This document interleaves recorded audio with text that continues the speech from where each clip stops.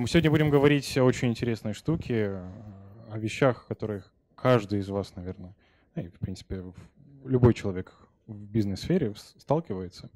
Будем говорить э, благодаря нашему спикеру Наталке Шпот. Это человек с просто уникальной самобытностью, которым я очень рад приветствовать в этом офисе. Это первый раз, когда Наталка к нам приехала. Наталка э, занимается уже бизнес-тренингом, коучингом, HRM более чем 19 лет. Вот. И это, это просто, да, это просто может... Да, это просто должно удивлять. Вот. Я хочу сказать, что мы будем с вами начинать. Я очень надеюсь, что каждый из вас взял анкетки, и после этого мы дадим обратный отзыв э, нашему дорогому гостю, для того, чтобы мы могли понять, что можно сделать лучше, что было интересно, что хотелось бы еще раз послушать. Окей? Если что, как бы организационная команда находится сзади вас. Мы начинаем. Спасибо большое. Наталка, тебе слово. Спасибо большое. Добрий вечір. Я буду українською, оскільки я зі Львова. Мені буде простіше, вільніше все-таки підбирати слова і формулювати якісь ті меседжі, які я хотіла би сьогодні передати. Чи мене достатньо добре чути? Так, окей. Сьогодні говоримо про вплив та переконання. Тема так трошки про мистецтво. Про мистецтво, як ви думаєте, чому?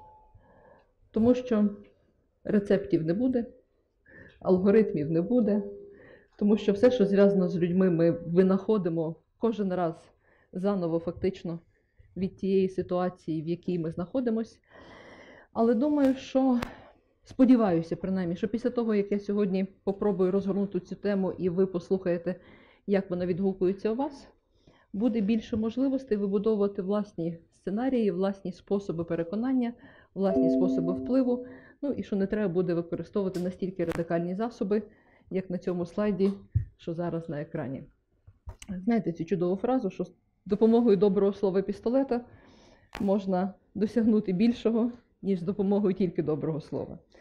Сьогодні будемо лишатися тільки в полі добрих да, і різних слів. Я зараз знайду. Не знайду. Е, Поможи мені, будь ласка. Ага. Е, Тільки в комунікації, тому що все-таки це такий наш основний інструмент впливу і переконання. Кілька слів про себе. Стас, дякую, ти мене представив. Справді, я HR, бізнес-партнер фінансової практики DataArt. І від мого імені теж рада вас вітати в цій чудовій компанії в нашому офісі в Дніпрі. Я викладаю у Львівській бізнес-школі.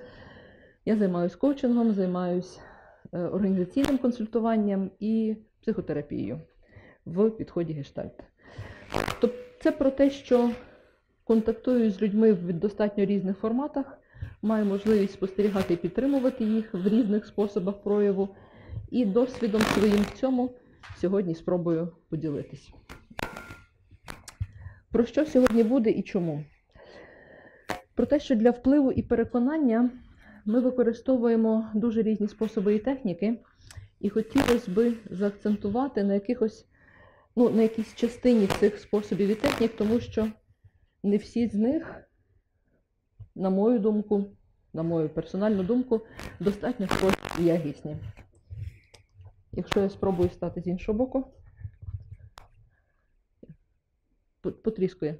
Ні? Окей. На екрані газова лампа. Чи стикалися з терміном газлайтінг? Ні. Він зараз починає набувати певної популярності, входить навіть в умовно наукову термінологію як метод специфічного переконання. Це життєйська історія. З минулого століття, коли власне використовували ще тільки газові лампи. Дружина залишалася вдома, займалася якимись домашніми справами. Чоловік повертався ввечері і трішки газову лампу скручував. Жінка сідала шити, казала, слухай, я щось, чи я погано бачу, чи газ у нас неправильний, чи лампа якось менше світить. Щось я зле бачу. Чоловік казав, та ти дурна, щось ти весь час придумаєш. І кожен вечір це повторювалося. І оскільки чоловік достатньо значимий важливий, ну фактично Це було невелике коло спілкування. В якийсь момент вона помірила, повірила, що справді вона втрачає зв'язок з реальністю. Я про те, що свідомо чи несвідомо можна шляхом переконання людину трошки звести з глузду. Так от про це не буде. Тому що ну, все-таки давайте лишатися в якомусь етичному полі. Але це теж про те, що ми при тому, як ми вибираємо, кому і чому вірити, спираємось не завжди тільки на власні відчуття, а й на чиїсь слова. Це скорше про те, наскільки нашим не знаю, переконанням, нашим усвідомленням можна впливати ззовні. Виявляється, аж настільки. Це підтверджено і більш науковими експериментами. Відомий експеримент Аша, явище, яке потім отримало назву конформізм, студентів запрошували якби на перевірку зору. В кімнаті було кілька людей, піддослідний, ну, умовно, піддослідний. Студент був восьмим, і групі показували паличку і три палички. І це була перевірка зору. Треба було показати однакової довжини лінії. Відповідно, сім людей були акторами, які зображали потрібні експериментаторам відповіді. Студент якось відповідав, як бачив. І як ви думаєте, як відповідали студенти? 75% 75% давали принаймні одну невірну відповідь, але таку, яка була підказана цією присутньою групою. Це про те, що наше твердження, на нашу думку, настільки сильно впливає група людей. Робили різні варіації. Всі семеро підставних осіб казали, ну, от там не Б, а АА. Давали різні відповіді. Чим різніші відповіді, тим простіше утримати свою точку зору. Чим одностайніші відповіді, тим більше людина була схильна піти за думкою групи. Відповідно, наш конформізм, наша здатність міняти судження це фактично когнітивний дисонанс, когнітивне певне спотворення, залежить від того, наскільки згуртована і наскільки велика група опонентів. Наскільки люди, які нам кажуть іншу думку, одностайні, наскільки вони нам здаються впливовими, і наскільки їх багато відносно нас. Теж за дослідженням помітили, що великий вплив має рівень самооцінки людини, яка приймає рішення фактично. Чим вища самооцінка, тим простіше опонувати великій аудиторії. Чим нижча самооцінка, самооцінка, тим простіше прийняти точку зору інших. І залежало дуже сильно від публічності. Якщо треба було сказати, е, я бачу інакше, ніж вони голосом і при всіх, рівень конформізму був вищий. Якщо можна було анонімно відповісти, моя думка відрізняється, конформізм практично був відсутній, тобто понижувався в 4 або 5 разів порівняно з загальним показником. Це про те, що на нашу думку можна впливати, можна сильно впливати. Це не зовсім етичний спосіб, але про те, що ми здатні до переконань. Про що ще сьогодні я не говоритиму? Я не говоритиму про те, як маніпулювати, тому що це теж спосіб переконувати прямо чи не прямо, частіше не прямо впливаючи на почуття опонента, не аргументуючи, не звертаючись прямим способом, а викликаючи ті почуття, які змушують людину прийняти рішення на вашу користь. Про це теж сьогодні ні. Власне, про що сьогодні? Про те, що в нас часто є якісь цінні думки, цінні ідеї. І хотілося б, щоб ці цінні думки і цінні ідеї не ставалося так, як з Галілео Галілеєм, а щоб вони отримували можливість виходити в світ вільно, відкрито, щоб ви могли переконати тих, хто вам важливий, переконати своїх колег в тому, як ви вважаєте правильно. Галілей Пам'ятаєте, уявляєте трохи його історію. Мене можна перебивати, коментувати. Що він зробив доброго? Да, Він підтвердив фактично теорію Коперніка, сказав, що Земля не є в центрі світу, що принаймні в центрі сонячної системи є Сонце, Земля крутиться довкола. Що він доброго не зробив? Він не зумів це своє переконання, фактично науковий твір, відстояти і переконати інших в своїй правоті, маючи навіть там попередників, таких важливих, як Коперніка.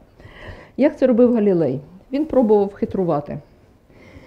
Він не виходив прямо і чесно на широку аудиторію, тому що допускав, що його думки будуть зустрінуті опором. Він спочатку відіслав своєму товаришу важливому чину в церкві, але той цілий рік не відповідав, він подумав, щось не так. Переписав вступ, пояснюючи: ні-ні, ні, ні, я не за Коперніка, я проти.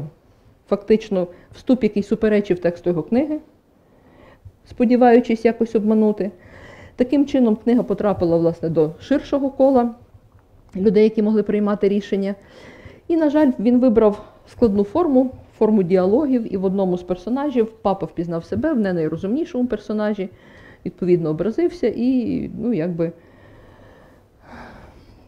Галілей провів життя в невеличкій, ну там віллі, не мав права зустрічатися з друзями, його вчення було відкладене на довгі роки, і ми, наука затрималася в своєму розвитку ну, на кілька сотень років, напевно.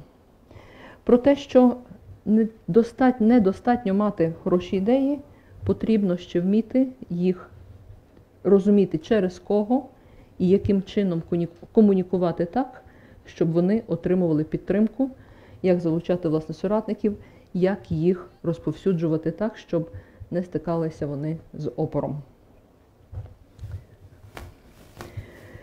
Що робив не зовсім, якби, ну, най, напевно, найкраще, це просто так зараз аналізувати помилки Галілея. Галілей пробував обхитрити, він десь не підходив з достатньою повагою до позиції опонента. Ми активно опираємося нового. І це логічно, що церква на той час дуже потужня, дуже могутня, теж опиралася новому. І він замість взаємодіяти напряму по-чесному, він пробував якось трохи змахінувати, обійти, обхитрити, обманути. Власне, він, вважаючи, що його думка однозначно правильна, десь ігнорував думку тих, до кого він комунікує. Для ефективного, успішного переконання дуже важливо поважати позицію іншої людини. Тому що це те, з чим вам доведеться мати справу. Чим міцніша її позиція, тим важчу роботу вам буде потрібно зробити, щоб людина вас почула, щоб людина була готова вас зрозуміти, і щоб людина була готова спробувати щось нове разом з вами. Тому що якщо ми підходимо в комунікації з позиції, що ви можете взагалі розуміти, я тут один знаю, з чим ми зустрінемось?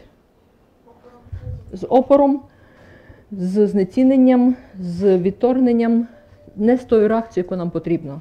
Власне, чим коректніше, м'якше, послідовніше ви залучите зацікавлених людей, тим імовірніше вам вдасться донести свою думку. Я буду час від часу цитувати матрицю компетенцій для HR, оскільки я HR, я до неї час від часу звертаюся, власне, щоб подивитися, як там один з поведінкових навиків це, власне, впевнений той, хто переконує, такий навчений переконувач. Власне, як описується цей навик в матриці? Демонструвати можливість впливати для того, щоб досягати необхідне залучення і підтримку від різних стейкхолдерів, щоб створювати додаткову цінність в організації. Не ламати через коліно, не маніпулювати, не якось домінувати там чи ще щось робити а власне залучати для того, щоб разом створювати цінність. Власне, вплив це не так. Якщо ми комунікуємо з точки зору сили, що ми робимо з нашим опонентом? Ми домінуємо, ми зменшуємо його. І він, якщо якісь є певні причини, буде слухатись зі страху чи з якихось інших не найприємніших почуттів, але в той момент, коли він зможе опонувати, він зопонує. Про те, що якщо ми пробуємо впливати через страх, це не безконечне. І страх ще таке почуття, що його постійно треба підсилювати.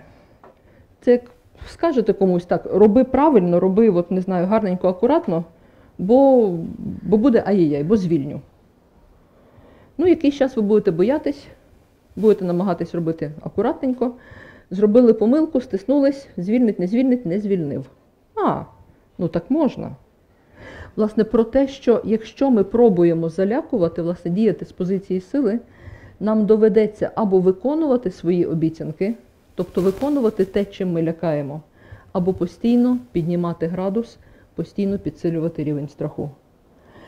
Чим вищий рівень страху, тим менша продуктивність в людей, на яких ми це поширюємо.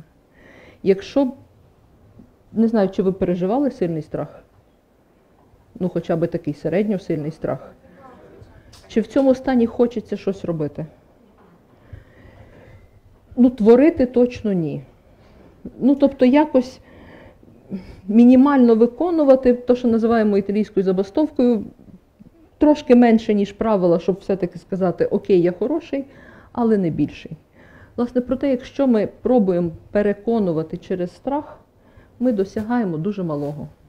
Ми зменшуємо продуктивність людей і собі формуємо тих, хто нам буде опиратися, а не буде підтримувати.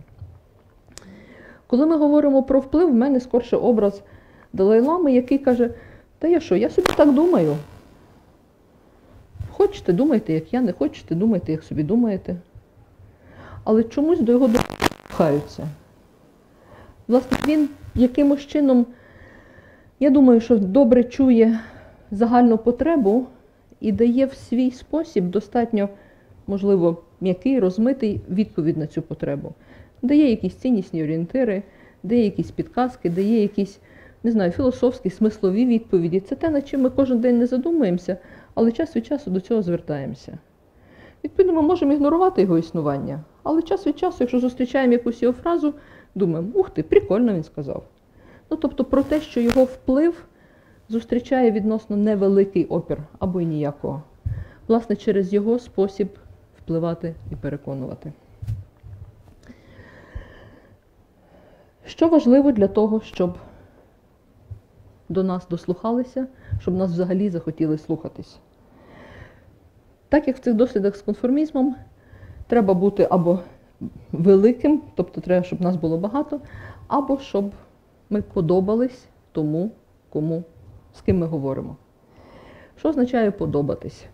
Е, це обкладинка книжки Джека Шафера, який попередній якійсь роботі був агентом, не пам'ятаю, чи ФСБ, чи ще кимось. Його роботою було будувати довіру і подобатись іншим для того, щоб отримувати інформацію. Це було частиною його професійної діяльності. І він розповідає, ділиться своїми рецептами, власне, як подобатись. Каже, що найкраще працює, коли ви подібні до того, з ким говорите. Це не означає, що треба там приклеювати вуса чи відрощувати волосся. Можна бути подібним за якимось досвідом, можна бути подібним, підтримуючи ритм і темп мови, можна бути подібним в позах, можна бути подібним в дуже різних речах. Власне, не потрібно 100% подібності, потрібно певну синхронність для того, щоб не викликати дисонанс. Тобто потрібно знайти, як резонувати з конкретною людиною. Подібність може бути, власне, через спільний досвід. Це коли ми приходимо, я буду спиратись на якийсь свій життєвий такий чисто жіночий досвід, коли ми приходимо в магазин, щось вибираємо, що нам часто каже продавець? Я таке саме ношу, дивіться, вже 5 років і йому нічого. Переважно це не спонукає до покупки, але, власне, вони пробують використовувати той сам принцип. Я така сама, як ти, дивись, це працює. Тут, власне, наскільки ми цей принцип, цей спосіб використаємо, це теж, власне, наше мистецтво, бо можна використовувати ну, достатньо безтолково. Вторинний досвід це коли моя сестра таке носить. Не я прямо, а хтось з моєї родини. Я звідти з того села приїхав, чи я там вчився, в мене є знайомі звідти, тобто хоча б якісь ниточки, хоча б якісь ланцюжки, які пов'яжуть вас з цією людиною. Для цього потрібно якимось чином, чому, власне, на Заході люблять смолтоки. Тому що за цей невеличкий діалог ви встигаєте зрозуміти, розпитати мінімальні речі про людину, звідки вона чим займається, і це допомагає вам знайти якийсь спільний досвід для того, щоб збудувати оцю синхронність, оцей резонанс, оцю подібність. Принцип небанальності. Не бійтесь виділятися і виглядати якось інакше. Отут така цікава ніби протиріччя бути подібним, але бути інакшим. Власне, мені дуже подобалось, е, це правда було в тексті про бренд. Рекомендація. Якщо ви хочете попадати у всі камери на не знаю, таких зустрічах, як наша, придумайте собі якийсь смішний аксесуар, не знаю, шапочку. Шапочку, краватку, не знаю, там щось яскраве кольорове. І тоді ви точно попадете в кадр. Але для бренду цього недостатньо. 20 років шапочки і робити щось корисне, от тоді, ймовірно, ви сформуєте цей бренд. Тобто шапочка, да, вона привертає увагу, але маєте потім під неї дати зміст. Виділіться так, щоб вас помічали. І принцип взаємності. Тут працює наша, така, наш соціальний зв'язок, який, ну, ми з вами чужі люди, але я зараз спробую одну річ. Якщо я просто усміхнусь, принаймні в декого з'являються посмішки. Про те, що якщо б це був персональний контакт, ймовірно, відповідь була б ясніша, ну, чіткіша. Про те, що ми реагуємо один на одного, власне, через емпатію, через зеркальні нейрони, через різні механізми, ми намагаємось реагувати і не конфронтувати, не викликати агресію. Це про нашу безпеку, власне, принцип взаємності, що якщо ви будете усміхненим, ймовірно, вам усміхнуться теж. Якщо ви будете пропонувати щось корисне, ймовірно, вам повернуть щось корисне теж. Це його поради про те, як подобатись, як викликати до себе інтерес і фактично будувати на цьому інтересі довіру. Довіра достатньо цікаве почуття, тому що реальна довіра з конкретною людиною будується під час взаємодії. Поки ми нічого один про одного не знаємо, ну я якось не знаю, наскільки вам можна довіряти. Ну, я зараз конкретно до вас звертаюся. Але якби ми зараз поговорили, знайшли спільних знайомих, ймовірно, ми б придумали, чим цікавим можна зайнятися. Ну, в якійсь там коротшій, довшій перспективі. Про те, що ми шукаємо цих контактів, власне, якщо цей контакт ну, якось російською розполагає до розвитку, якщо ми знаходимо оцю цікавість і подібність. Тобто довіру ми часом даємо авансом. І, власне, тут, якщо ми хочемо впливати, ми маємо вміти цю довіру будувати. Я повернусь до цього. Це залежить теж від того, як ми конкретно поводимось. Але, власне, дуже важлива річ це довіра. Якщо так навіть ну, забігти наперед, довіра зв'язується от в поставі з чим. Пряміше питання, наскільки я викликаю довіру? Я відкрита. Угу. Я не кажу, не, не, не стою отак. Що ще я роблю для того, щоб викликати довіру? Посміхаюся. Угу. Говорю достатньо чітко, щоб мене було чути. Тобто не затягаю вас якусь там швидку, не знаю, там дуже динамічну бесіду, де, ймовірно, ви загубитесь. Реагую. Угу. От ви маєте всі рецепти. Власне, ми реагуємо на відкритість, ми реагуємо на впевненість, ми реагуємо на те, що на нас реагують, на якусь взаємність, на якусь подібність, на взаємодію. Довіра будується. Довіра теж неможлива без чутливості. Якщо ми приходимо тільки з своїми ідеями в голові, я не знаю, наскільки в Дніпропетровську популярні Дніпрі е, свідки Єгови, у Львові дуже популярні. От я я боюсь зачепити чиїсь релігійні почуття, але це люди, які не дуже чують опонента. Вірніше, з того всього, що вони чують, вони чують тільки те, що можуть використати. От, власне, для того, щоб переконати, потрібно чути опонента, а не тільки бути переконаним, сильним в своїх ідеях. Власне, помічати іншого, причому помічати іншого за достатньо тонкими проявами. Власне, якщо ви хочете когось переконати, не тільки ваші ідеї важать, важить те, як ви чуєте і помічаєте реакції співрозмовника. Часом дають власне метафору тигр, який нюхає квітку. Ну, коли велика сильна тварюка, яка насправді там може лапою ну, когось великого завалити.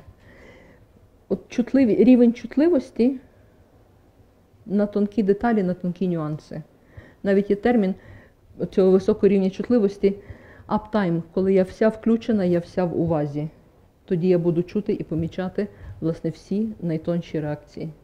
Тобто для того, щоб переконувати, потрібно розвивати власну чутливість теж.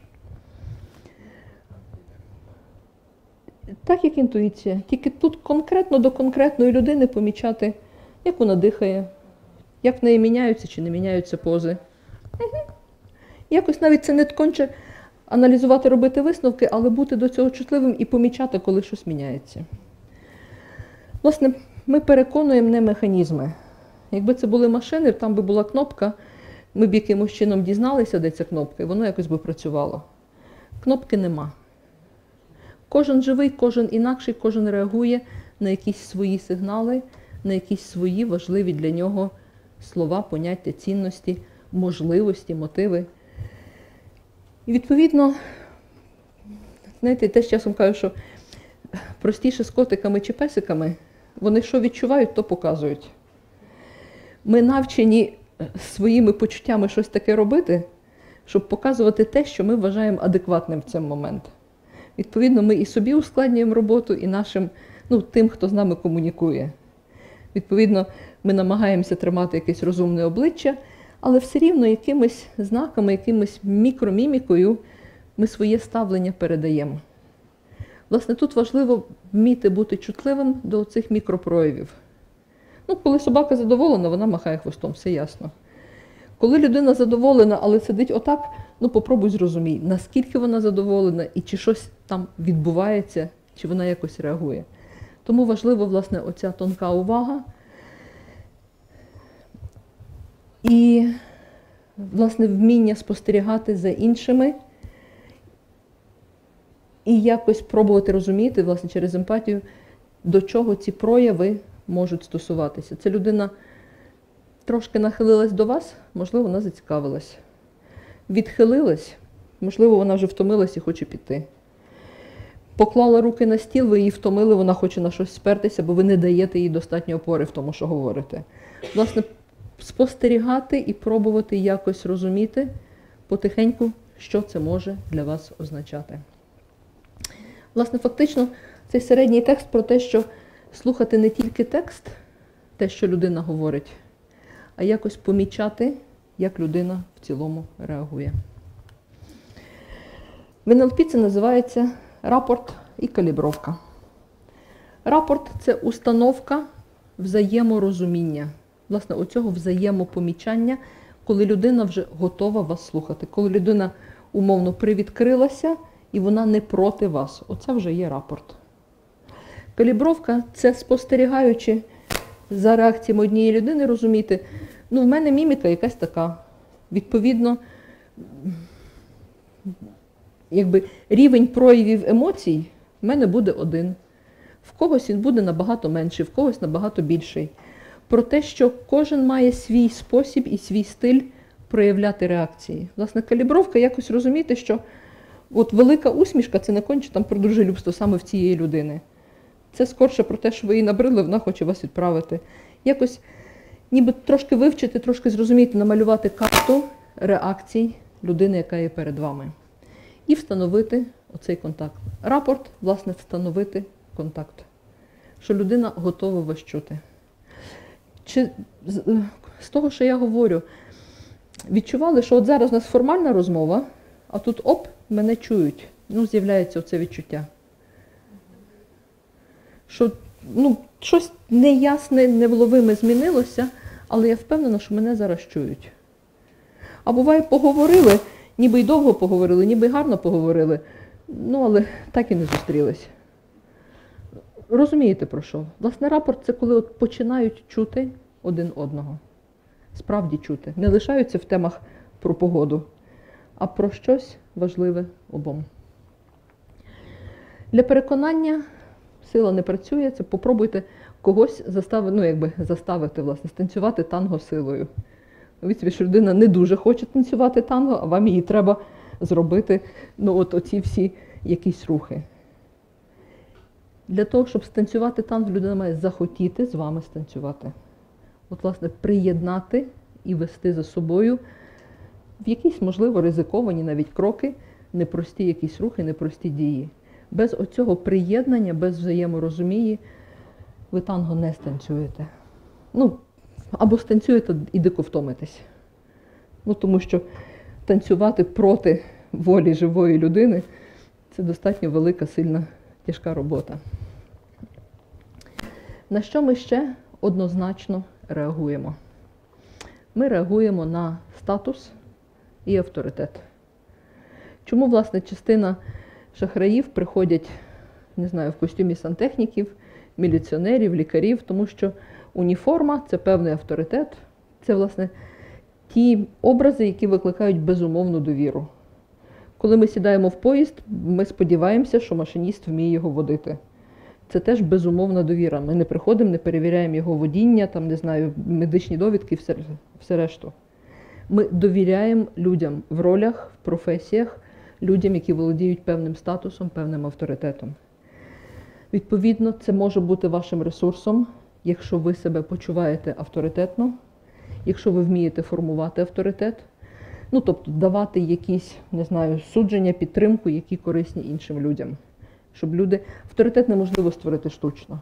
Да, форму можна вдягнути, але авторитет потрібно напрацьовувати. Статус, да, якісь годинники, костюми. Ну, Тут я можу машини, я не знаю, у вас по вулиці багато їздить машин красивих. Так що, напевно, з цим все окей.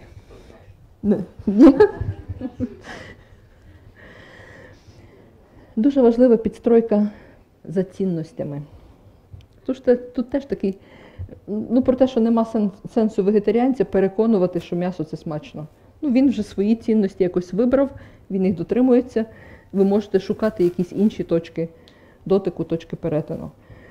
Теж такий життєвський досвід, заходжу в магазин купувати сережки, кажу, мені щось просте без особливого декору. Продавець каже угу і починає виставляти ну, от такі от.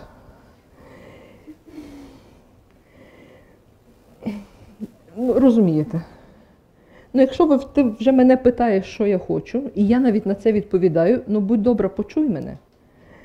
Власне, про те, що коли ви задаєте питання, це не має бути формальність. Якщо людина щось про себе говорить, попробуйте зрозуміти, що вона вам сказала. Часом там може бути достатньо проста фраза, з якої можна зрозуміти, які цінності. Часом це можна зрозуміти, не знаю, ну, якщо йде тато з дитиною, ну, щось пропонувати йому ну, більше з цього поля, ніж на цьому справді теж є маніпулятивні техніки, бо, наприклад, не знаю, чи це відбувається у вас, коли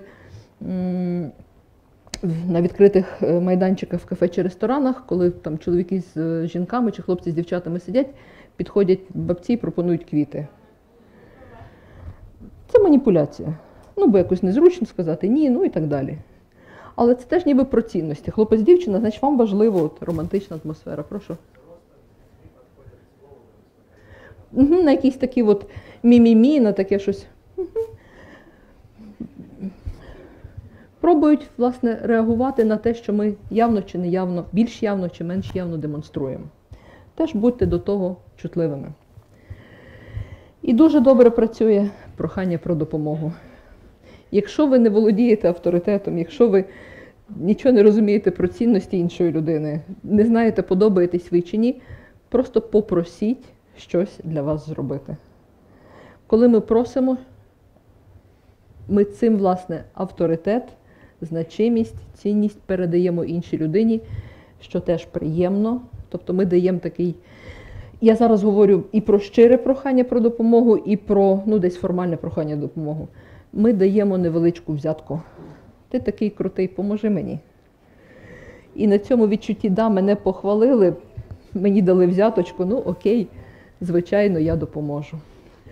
Але це цілком легальний спосіб, коректний спосіб, яким можна користатись.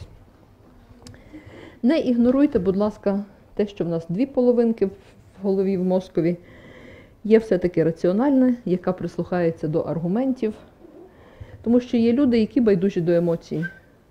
Для них ви маєте мати набір аргументів, чому це зручно, корисно, вигідно, що з цим можна зробити, як це можна впровадити. Про те, що крім емоційного впливу, не забувайте це підкріплювати якимись реальними вимірюваними речима. Зробимо невеличкий експеримент. Можна я вас попрошу? Ну, не знаю, повезло вам чи не повезло, встаньте, будь ласка. Попробуйте розтиснути мій кулак, але так не дуже його поламайте, окей?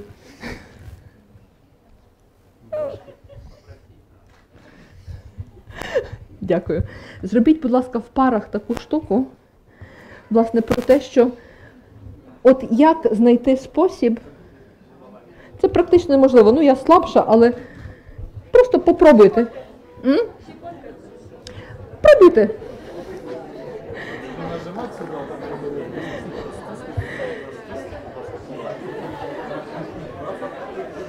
Можна зробити експеримент.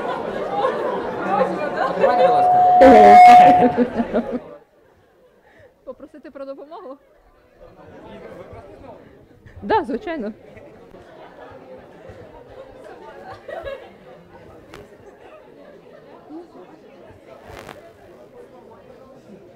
Не поламали, ні?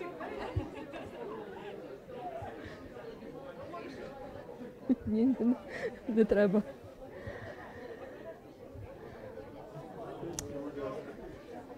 Які способи, які способи виявилися ефективними?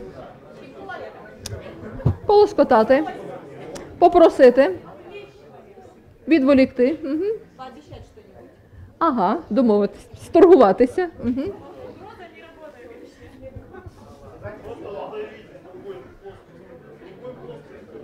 Зробити боляче? Поміняти. Це, це кінезіол... Ні, я не боюсь. в эту сторону, вот. И кулак открывается гораздо проще. Вот. Простое давление, с другой стороны кулак открывается сам по себе. А, за рахунок на- натягнення цих, натягнення зв'язок. Угу. Худой из органов человек. При достатньо, наскільки я бачу, м'яких зв'язках це теж не завжди працює.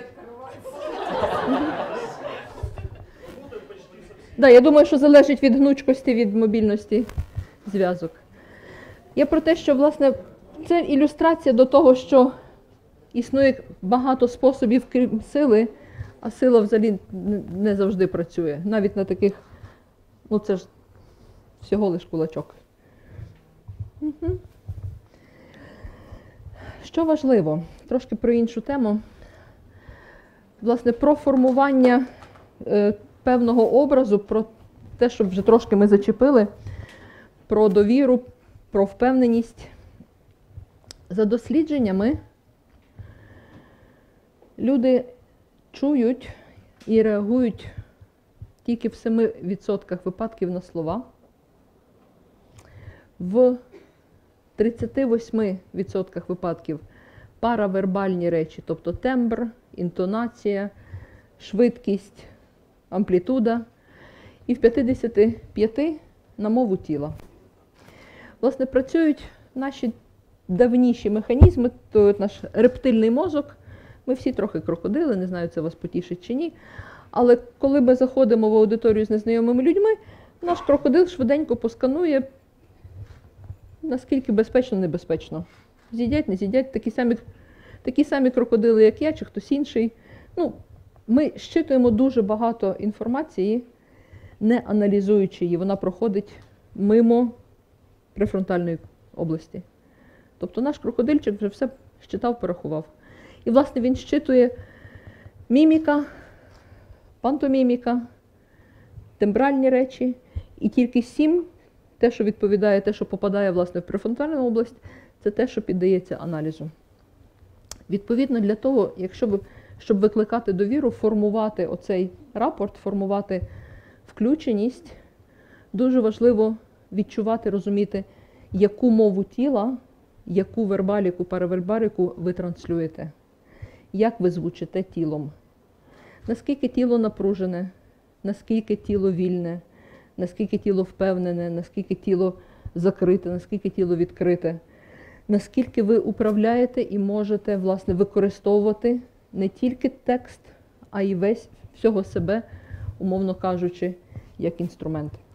Можемо теж трішки попробувати. Я вас запрошу встати.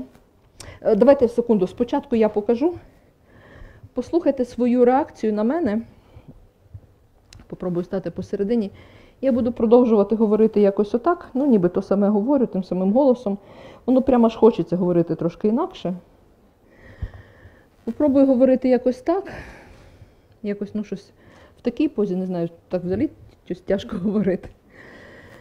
Попробую щось такого, якось такі от речі. Угу. Чи міняється відчуття сприйняття мене? Угу. При тому, що ви вже якийсь час мене слухаєте, налаштувались на мене і ніби вже так ну, уявляєте, хто я і що я. Як мінялося відчуття? Угу. Від приємного до неприємного. Угу. Несприйняття. Теж цікавий момент з кулаками. Попробуйте, я спробую щось говорити, стисніть кулаки. Я буду говорити, наприклад, розумні речі з наступного слайду про те, що для того, щоб транслювати впевненість, добре тримати зоровий контакт. Я говорю ну, в звичній тій своїй нормальній манері. Прошу тільки вас стиснути кулаки. Більше слухати, ніж говорити. Відпускайте, дякую. Чи ви мене чули взагалі, поки тримали кулаки? Мгм. Коли ми в захисній позиції, ми правда більше сфокусовані на своїх відчуттях і тільки трошки на тому, як міняється зовнішнє середовище, наскільки воно безпечне, небезпечне, а не на зміст чи якісь послання, які нам дають. Я, я більшість часу вашої доповіді ось так. Це також закрита поза, але... Я не про це не про закриту позу, це про те, що власне, якщо це незвична поза, вона буде впливати. Якщо для вас це звично і зручно, тоді ну, це ваш звичний якийсь, не знаю, спосіб. Впливають, власне, і той, хто говорить, і той, хто слухає. Тут запрошую, власне, встати, постояти, якось обережно з речима, щоб вони не літали. І попробуйте е, розімніть, трішки розімніть стопи. Я не знаю, як ви сиділи, засиділись, не засиділись. Розімніть стопи з п'яток на пальчики, зі сторони в сторону. Трошки порозминайте коліна, щоб ну просто. А? І тепер послухайте, похитайтеся вперед, так, щоб ну, не впасти, але так, знайдіть свою крайню точку вперед, знайдіть свою крайню точку назад, крайню точку в сторони. Трошки порухатись. І верніться, знайдіть вертикаль і знайдіть серединку, так, щоб ви були чітко над своїми стопами і мінімально на них давили. Власне, щоб вага йшла не на пальці, вага йшла не на п'ятки, а розподілялася на цій арці стопи. Ну, наші ноги мало чим відрізняються, я не знаю, теж засмучу чи ні, від ніг коней чи інших тварин, які можуть безконечно довго стояти і не втомлюватись. Власне, ми втомлюємося, коли стоїмо, тому що ми якось інакше стоїмо, ніж природньо. Бо ми десь віддаємо вагу ну, на ту чи іншу частину. Попробуйте знайти оцю серединку і відчуйте, наскільки, як відрізняються відчуття і чи ви там стійкі. Щоб е, вас не тянули ні вперед-назад, щоб віддали вагу вниз на стопи і при цьому їх не навантажували, як би це дивно не звучало. Чи вдається знайти? Угу. Тоді теж питання, власне, ну, це наш весь від хребта і далі, як ми компенсуємо. Угу. І попробуйте теж, не знаю, вдихнути, трошки розширитись, і зайняти собою весь простір в цій кімнаті.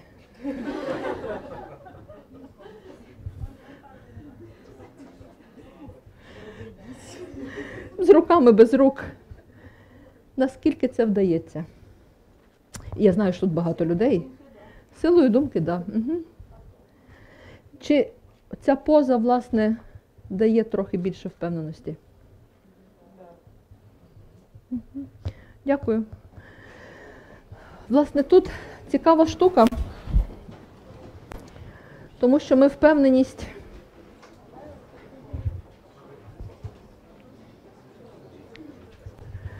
Ми впевненість дуже сильно транслюємо через тіло, але можна і навчитися впевненості через тіло.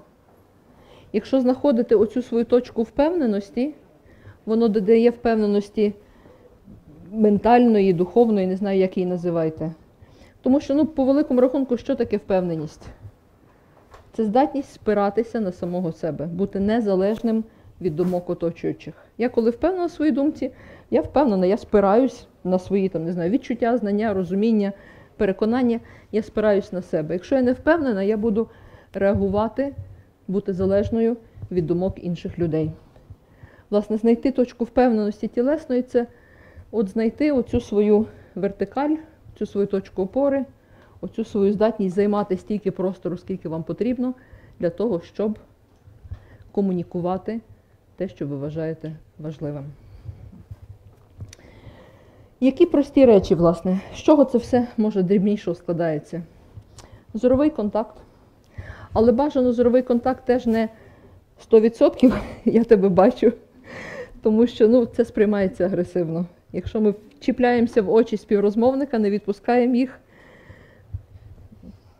це може викликати ну, зворотню реакцію. Але якщо ми зовсім не дивимося, може викликати деякусь ніяковість. Якщо би я ходила, говорила, ну ніби тим самим тембром, але дивлячись вниз, ну це теж якось, напевно, міняє сприйняття. Бо коли я увагою з вами, очима з вами, власне, є відчуття контакту. Є з ким контактувати. Більше слухати, ніж говорити. Ну, я зараз це не роблю, але така в мене роль сьогодні. Запитувати чи довідуватись. Запитувати, що мається на увазі різниця? Я можу запитатися, що ти думаєш. А я можу попросити, поділись, будь ласка, своїми думками на цього приводу. Запитання мається на увазі більш прямі звернення, довідуватись, якось м'якше це робити. Коректно, ну, в такій, не знаю, ну, власне, м'якшій для мене формі. Чи порадь, будь ласка, чи поділись, чи ну, от, якимось таким чином непрямими запитаннями. Говорити ясно, чітко, тому що коли е, ми завуальовуємо, якось там дуже вже сильно запаковуємо свої послання в складний текст, співрозмовник може втомитися, перестати нас розуміти, тому що забагато інформації перетворюється в шум. Якщо ми даємо забагато тексту, ми робимо це і втомлює. І від... Угу. Ну і постава має бути достатньо впевнена, але разом з тим і достатньо жива, щоб це не був, не знаю, пам'ятник. Ну, бо якщо ви будете зовсім пам'ятником, то теж не ясно з ким контактувати. Важливий фактор чесність. Це теж такого, я перепрошую, мене приклад з якоїсь сьогодні одної сфери, про те, що коли ви йдете в магазин, щось міряєте, продавець каже, прекрасно. Ви прям, ну, да, зірка, сексуальна бомба, все-все-все. Ти так дивишся в зеркало, розумієш, що ну, ти бачиш якусь явно іншу картинку. Да, ну якась така. Про те, що коли ви когось в чомусь переконуєте і знаєте ризики чи можливі якісь негативні наслідки, краще про це сказати. Власне, не впарити, не втюхати те, що у вас є, а сказати, знаєш, от буде класно, але може щось піти не так. Тоді ви лишаєте вибір людині, разом з тим показуючи, що ви відкритий, чесний і розділяєте з цією людиною власне ризики. Я би хотіла запропонувати подивитись невеличке відео Е, Один з авторів цього відео Роберт Чалдіні, і в нього є хороша книжка про переконання, власне, психологія впливу і переконання. Дуже так, власне, показує ці наші паттерни, як на що ми реагуємо, відповідно, що як можна використовувати. І запустиш. І він ілюструє шість власне, принципів впливу через теж такі торгівлю, ресторани, готелі.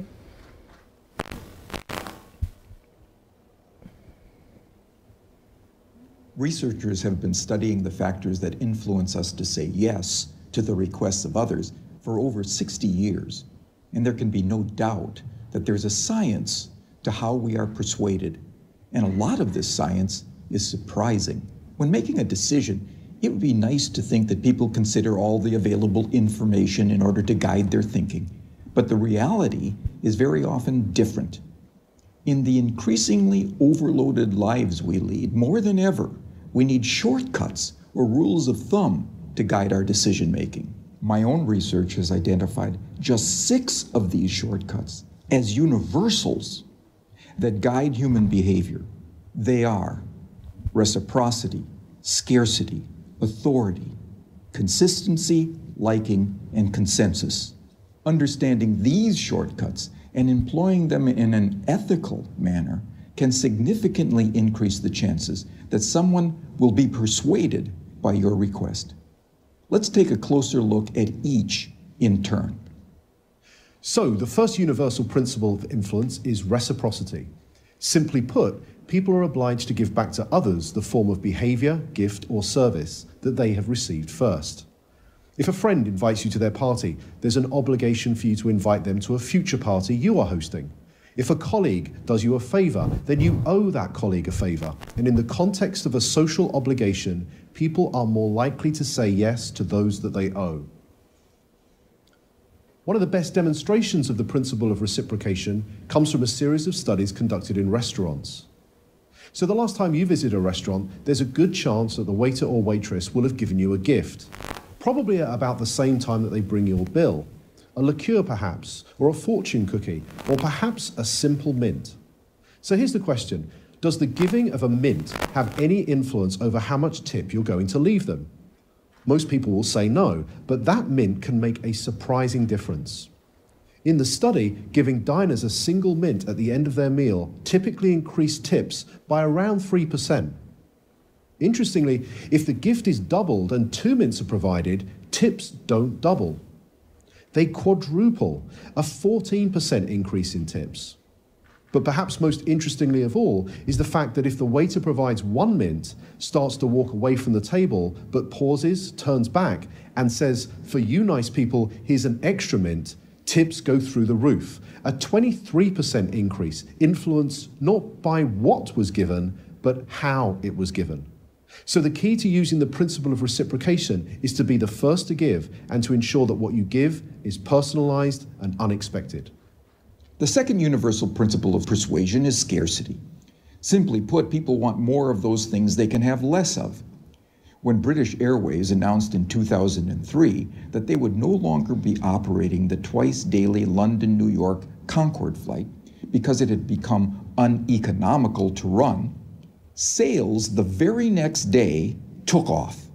Notice that nothing had changed about the Concorde itself.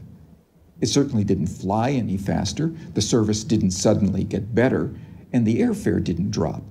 It had simply become a scarce resource, and as a result, people wanted it more. So when it comes to effectively persuading others using the scarcity principle, the science is clear.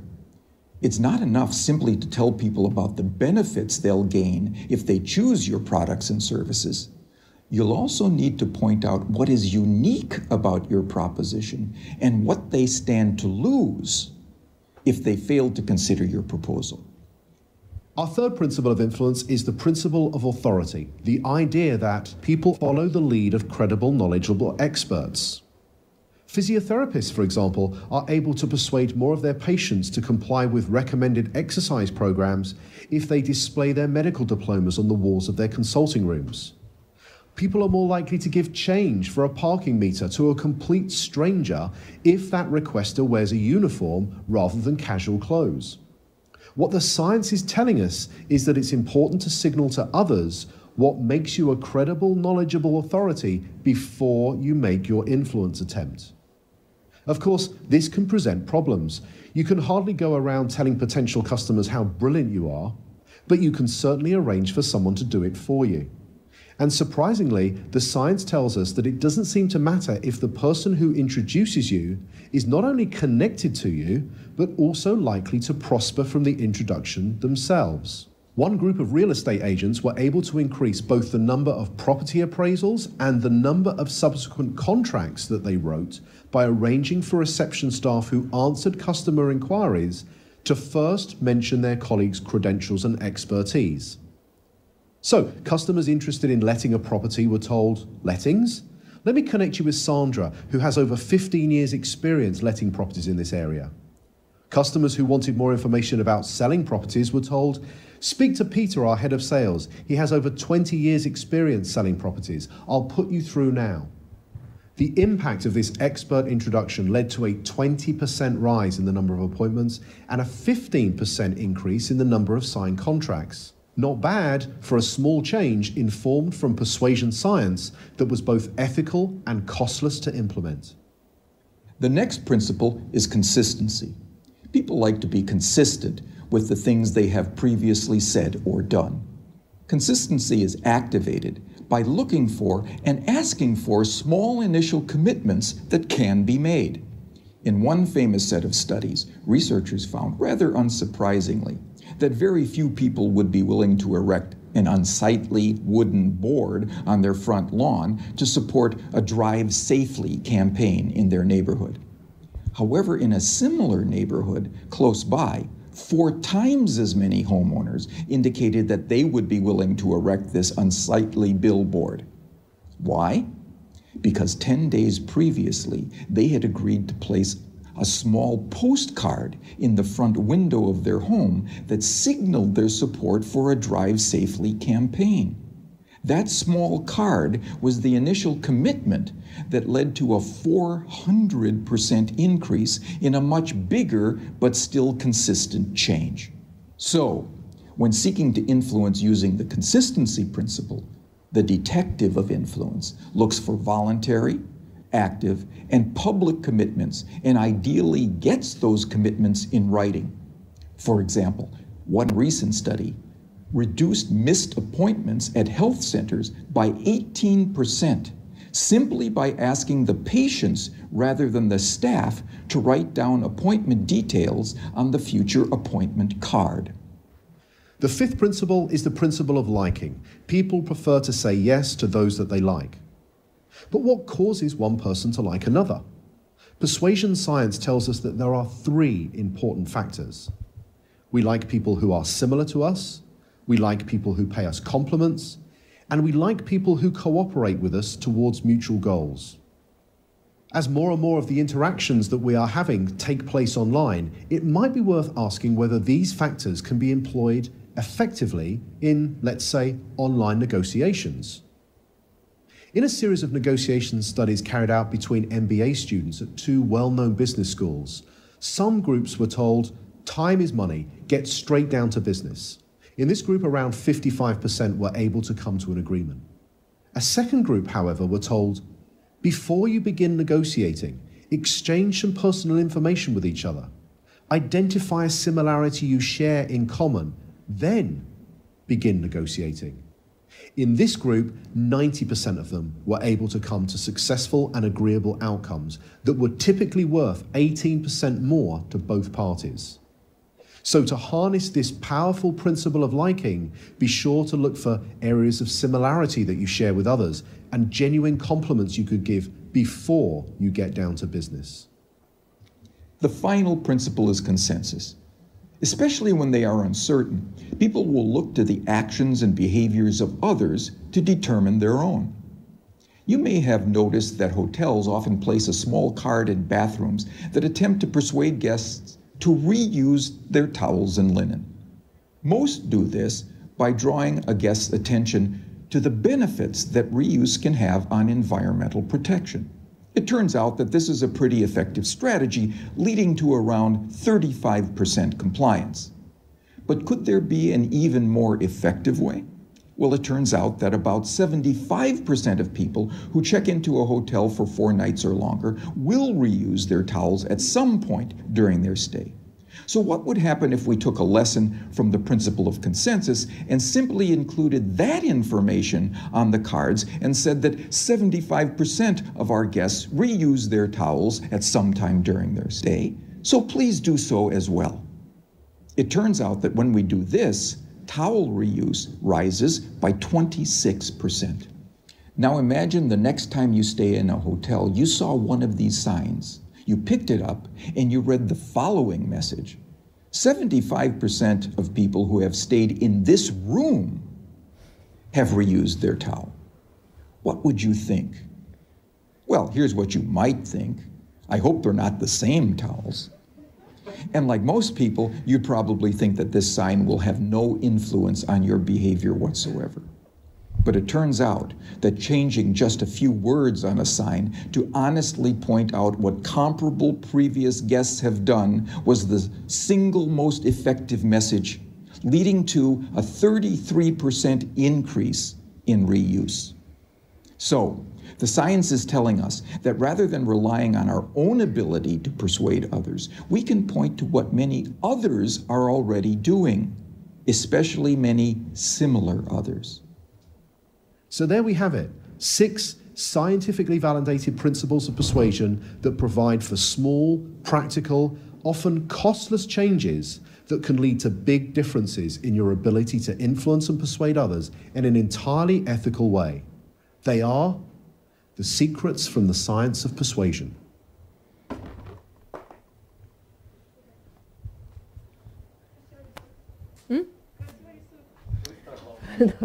Красиво, швидко.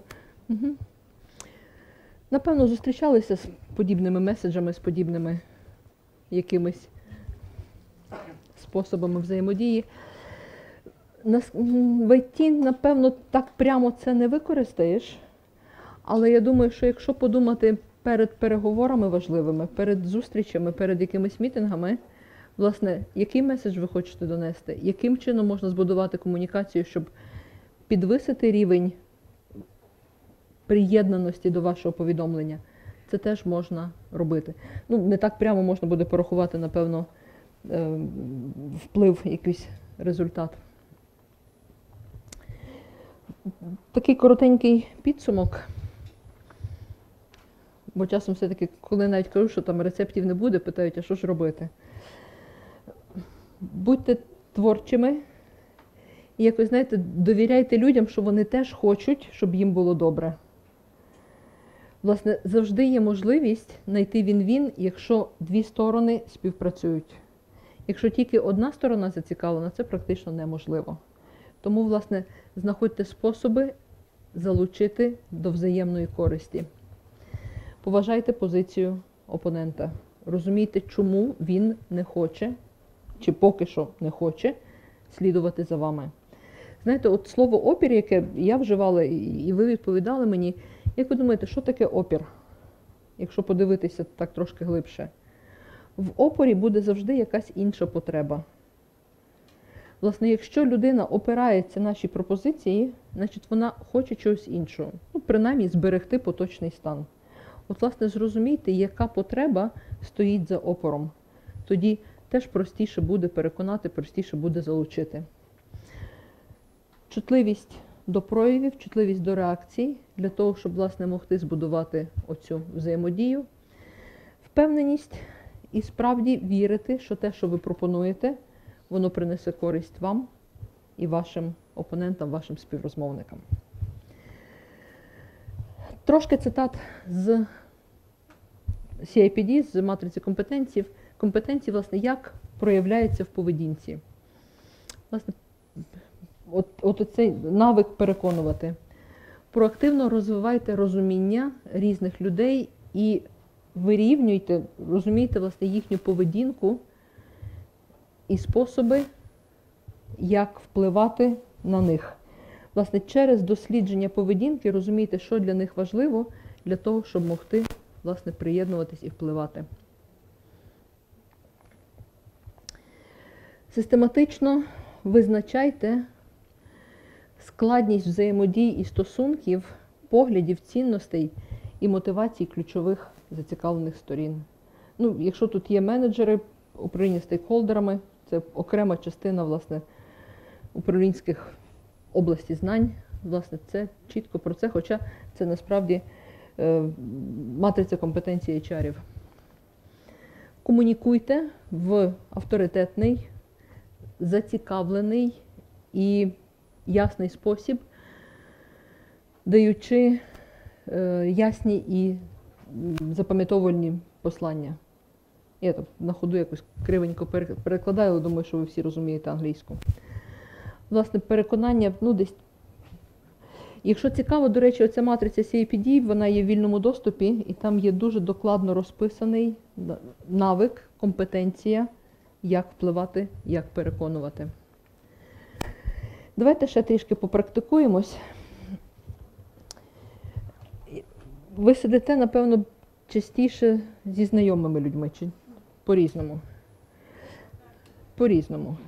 Напевно, тут цікавіше буде по-різному, власне, знайти когось мало знайомого і що я пропоную зробити. Тисяча гривень це така уявна сума, реальна сума. Ні, ну вона осяжна. Угу. Ну, Уявна в сенсі, що її можна уявити, вона не є якась зовсім, там, не знаю. Е, на тисячу гривень можна зробити щось корисне, щось купити приємне. От подумайте, на що б вам знадобилося додатково тисяча гривень. Знайдіть когось, з ким ви мало знайомі. І зробіть так, щоб людина була готова вам її віддати. Але, власне, так, щоб ну, от коли ваш опонент кивне, що ти подав, готовий. От, значить, що спрацювало. Якщо каже ні, значить ні. Ок. Щоб у вас з'явилася додаткова тисяча гривень. Попробуєте? Подумайте, для чого вона вам потрібна і як ви будете комунікувати.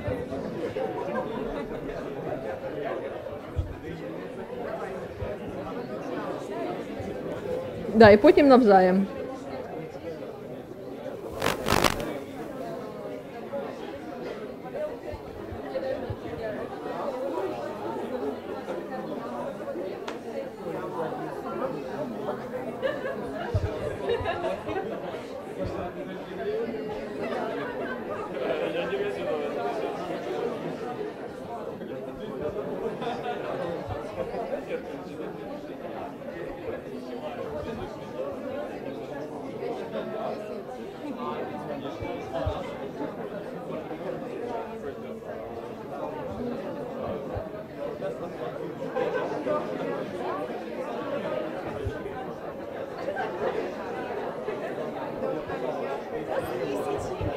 Вже є, так? Да?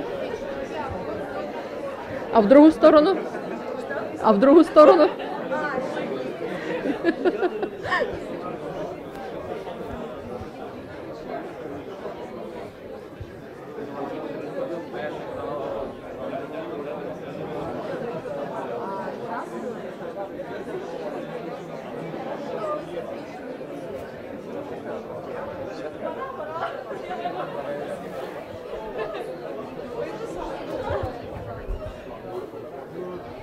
Ні, ні, я буду.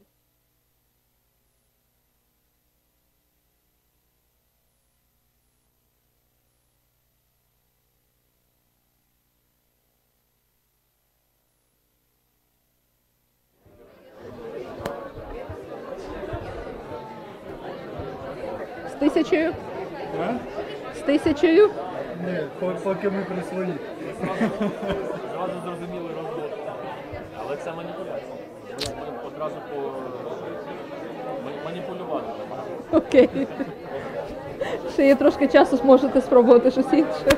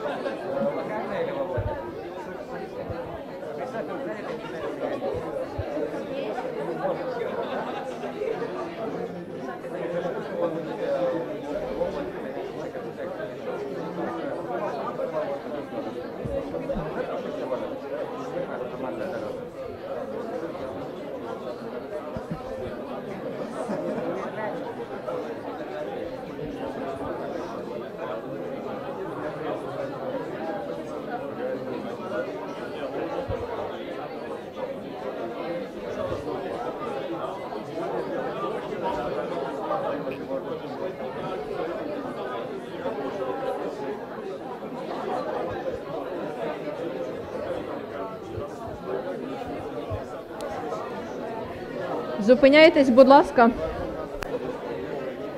Зупиняйтесь, будь ласка.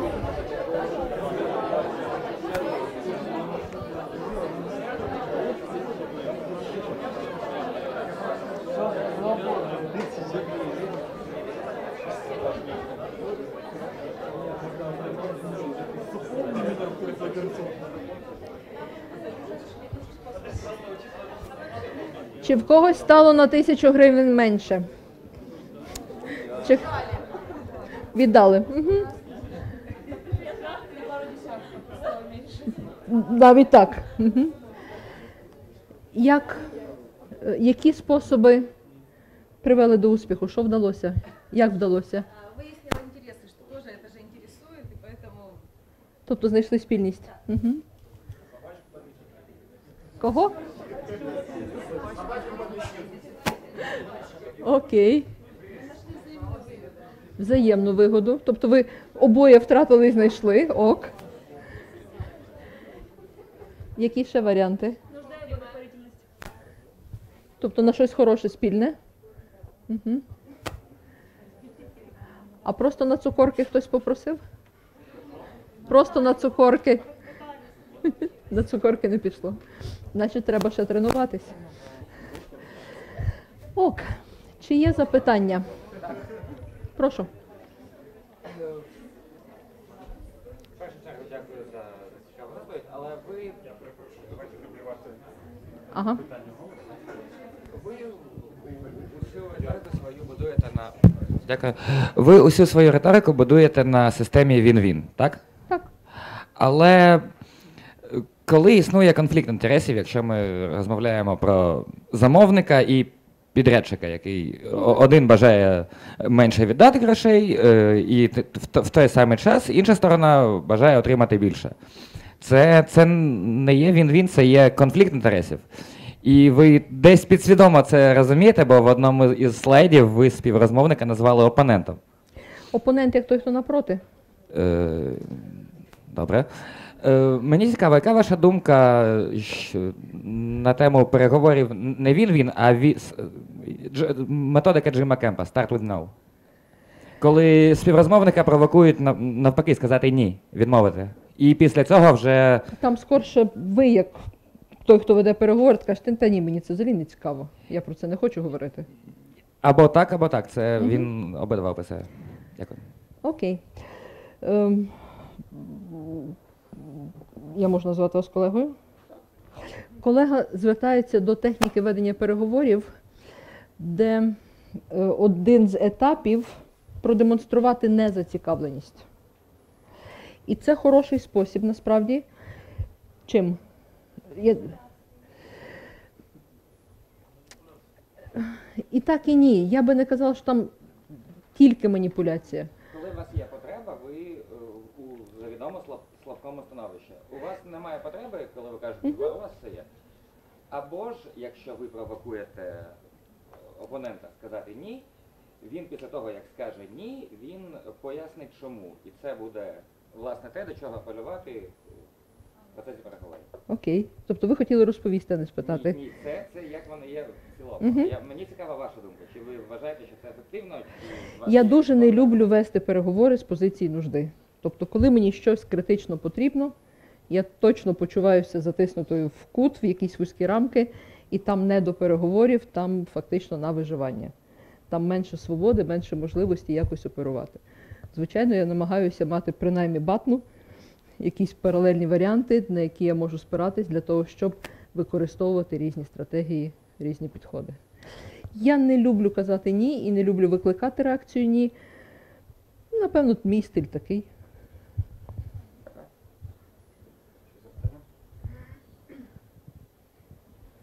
Запитання?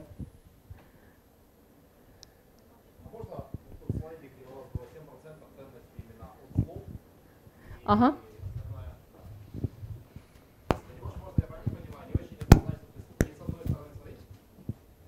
Спасибо большое, спасибо за доклад.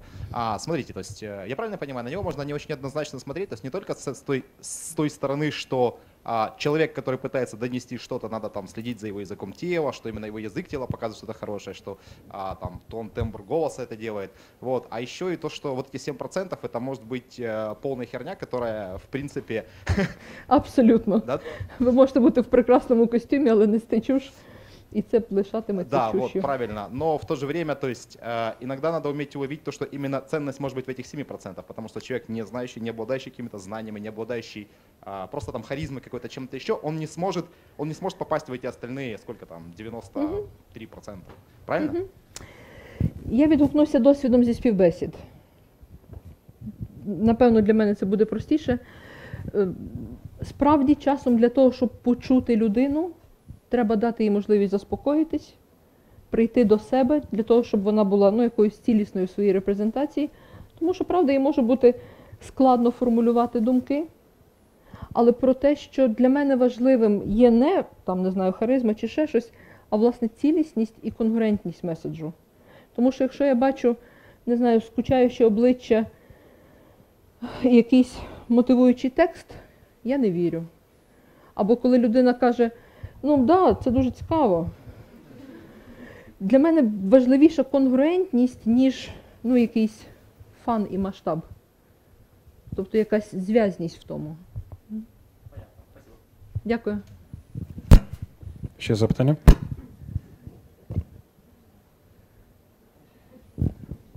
Ви ще приїдете? Напевно.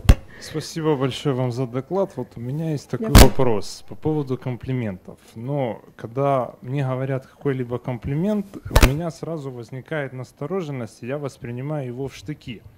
Почему я так делаю? Потому что каждый здравый человек, когда он занимается какой-либо деятельностью, он прекрасно знает, ну или более-менее прекрасно понимает, на каком уровне он находится. То есть приведу простой пример. Вот я вот по многие, ну, говорят, что я хорошо играю в большой теннис. Но есть еще там тысячу человек, которые вообще там и ракетку правильно держать не могут. А есть еще там пять тысяч человек, включая того же там Роджера Федерера, которые по, мяч- э, по мячу закрытыми глазами по- попадают. Так вот и когда мне говорят, что я хорошо играю в большой теннис, я так, э, прямо скажем, глаза на это закрываю. Это один момент. Ви так класно граєте великий теніс. Да, да. Я про Да, те, да, що да. комплімент він не завжди про експертизу, а про може бути іншу потребу. Розумієте, ви зараз говорите про певну компетентність, а може той, хто вам робить комплімент, просто хоче вам подобатись. И потом еще вот второй вопрос. Вы говорили, что э, очень легко переубедить чело- человека в его точке зрения, когда э, ставится в пример, там, допустим, 75% или какое-то большое количество людей. Но опять же, я вот э, всегда, когда принять какое-то решение, изменить это решение, я взрослый человек, я взвешиваю все за и против принятия этого решения, тогда решение принимаю. И мне абсолютно не важно, какой там Петя, Вася, Катя, Маша, что они там делают, как они там образно там прыгают или не прыгают с девятого этажа, допустим, там в сугроб высотой там в три этажа. Я все равно никогда не, ну, образно, опять же, я не прыгаю. Понимаете? То есть, ну... Можу вас привітати, ви в тих 25%, 5%, які не проявили конформізму. Да, я- как его. И то есть, э, когда вот, скажем так, глобально э, это называется, когда человек идет против системы. И вот когда человек идет против вот этой вот системы, которую вы показывали, то есть он должен понимать, что он ставит на кон и что он может в результате это получить, вот как чаша весов. Складно посперечатись, так? Вот, ну, для меня вот именно этот аргумент про большинство количества людей вообще был, ну, ни разу не аргумент. Ви Спасибо. знаєте, дякую. Ага. Знаєте, там ну, 75% людей це не аргумент, це статистика. Ну, про те, що ми, як люди, поводимося так. А я вот хочу вам задать, молодой человек, вопрос. А когда, например, вам говорят о мнении каких-то людей, да, э, вы как э, принимаете свое решение на основании каких-то фактов, но то, что там какие-то люди склонились по каким-то причинам к такому решению, какому-то, возможно, другому, да, это тоже какой-то факт. Вы это не учитываете в принятии своих решений. Вы просто игнорируете вот как бы дополнительную информацию. Я от не знаю, чи нам варто влаштовувати публічну дискусію Да, давайте, давайте я все-таки, наверное, предложу Мгм. как бы, а, дискуссию оставить после, э, после нашего выступления, после выступления Наталки. Я... Чи є питання до мене? Так. Прошу. Каким образом увидеть человека? А, Вот есть, эм, есть в команде, например, э, коллега, и тебе хочется его убедить там поучаствовать в какой-то активности. Ты понимаешь, что для него это будет на пользу, и для компании это будет на пользу. Но этот коллега довольно самовлюблен, и когда на него начинаешь, эм, ну, когда ему предоставляешь какие-то факты, что это будет хорошо, это будет вот в таком-то, таком-то направлении, это пойдет на пользу потому-то, потому-то, он все равно, ты встречаешь отпор. Угу. Вот как помочь? Ви знаєте, я, я спробую відповісти. Я не дуже люблю відповідати на питання, а що робити в такій ситуації, тому що часто це кусочок контексту, і там буде ще, а це неможливо тому, а це неможливо. Я спробую от на основі того, що ви говорите, відповісти тільки на те, що ви говорите. Ви кажете так, колега самовлюблен, а ви йому аргументуєте пользою.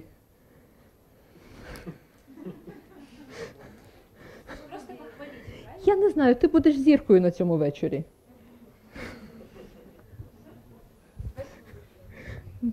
Еще вопросы? Наверное, такой кейс, когда человек изначально бунтарь и хочет сразу же сказать, что я единственный здесь правильный, и я понимаю, может быть, есть польза, но я хочу быть особенным. И ты знаешь изначально, что он откажется. По- Поможет ли здесь вот эти вот все примеры, или может вы знаете какой-то козырь в рукаве, который вот скажет, ну даже на него повлияет, изначально зная, что он как бы не хочет идти навстречу. Ми на тренінгу в суботу обговорювали поведінку, характерну для п'ятилітніх дітей, Яким, які відпрацьовують на своїх батьках казати ні. От те, що ви приводите як приклад, воно дуже подібно на, на щось таке. Тому що ну, реально між 3 і 5 років дитина вивчає свої там емоційні границі, батьки кажуть ні, і дитина каже, ну думає, що ж, я теж можу, попробую. І тоді от розумні батьки кажуть, ну йдемо сюди, коли насправді треба йти в іншу сторону. Ну тоді дитина вибирає якийсь інший напрямок. Будеш гречку, ні картоплю. Окей, значить, от, а в хаті насправді тільки картопля. Я не знаю, чи це про це, але часто, коли є бунтарство заради бунтарства, бунтарства, це теж певна послідовність. І ви можете цю власне певну послідовність теж якимось чином використовувати. Ну, я знаю, ти ніколи не підеш на той вечір, куди підуть всі. Не знаю, ну це теж там десь близько до маніпуляцій. Вопросы?